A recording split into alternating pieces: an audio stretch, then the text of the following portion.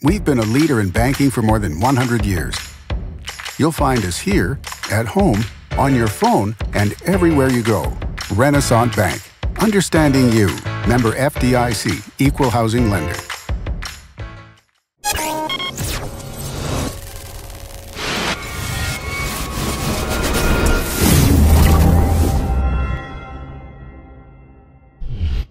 Sponsored by Renasant Bank. Good morning and welcome to Daily Journal Newsbreak for Thursday, November 16th. I'm your host, Chris Kiefer, and we're going to take a look at the top news and sports stories from Northeast Mississippi. But first, let's start with today's weather forecast.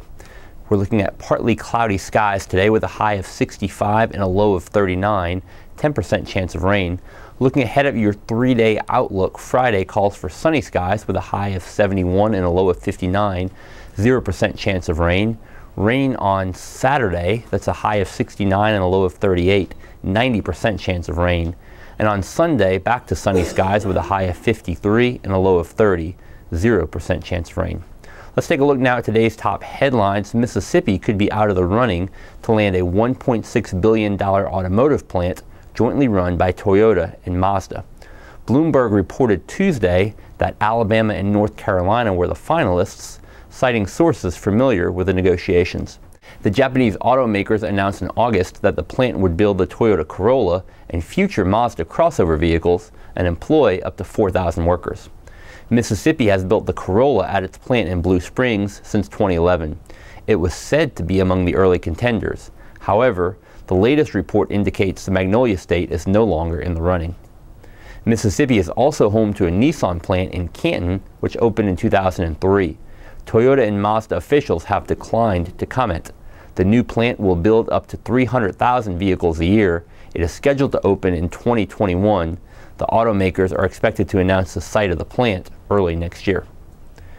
Attendees packed Lane Chapel Sanctuary on Wednesday for Tupelo's annual Community Thanksgiving service. The service has rotated for years between various churches. On Wednesday, it returned for the first time in decades to the historically African American Lane Chapel CME Church on Madison Street. The service featured music by the Lane Chapel Quintet and the Tupelo High School Madrigal Singers.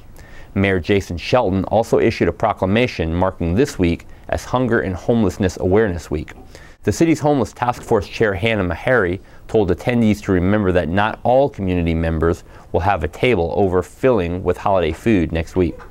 The event has a long history in Tupelo, but city leadership has put more official backing behind it in recent years. Tupelo Outreach Coordinator Marcus Gary said he appreciates the event's diversity. A proposed change to Mississippi's Medicaid program could impact between 15,000 and 20,000 people. The change would require those individuals to work or to participate in work skills training programs in order to receive health care through Medicaid the Mississippi Division of Medicaid is preparing to request a waiver from the federal government. It would include the work requirement for those who receive Medicaid because their children are in the program or because they are the caretaker for someone else on Medicaid. The request is slated to be submitted to the federal government on December 11th. Not many people attended Wednesday's public hearing to comment on the proposed change. Another public hearing will be held at 10 a.m. Friday at the War Memorial Building in Jackson. In recent years, state officials have been looking for ways to save money on the Medicaid program. Some believe the work requirement would accomplish that goal. And in sports, the Tupelo Lady Wave basketball team has received some bad news this week. Shamaya Carruthers tore her ACL and will miss the rest of the season. Carruthers is one of the area's top young players. She went down in the final seconds of Tupelo's opening game against Lafayette and needed assistance to get off the court. Her loss is a huge blow for Tupelo, Carruthers is a third year starter who averaged 10.4 points and 6.5 rebounds per game last year. Tupelo lost to Lafayette but has since won three in a row. Head coach Matt Justice replaced Carruthers with freshman Janiah Hinton. Hinton has scored 10, 12, and 13 points in the three games she started. Justice said the Lady Wave benefits from having a lot of depth. He said the injury will force Hinton to grow up quickly. And that does it for Newsbreak on this Thursday. Don't forget that this show is just one of the many online offerings courtesy of the Daily Journal that gets you news off the page and on the go. Check out the Memo podcast for news and entertainment from Northeast Mississippi with hosts Emma Kent and Derek Russell. On Wednesday's episode, Ray Van Dusen and Emily Paul from the Monroe Journal talked about their recent story on a former JonBenét Ramsey murder suspect who now lives in Aberdeen.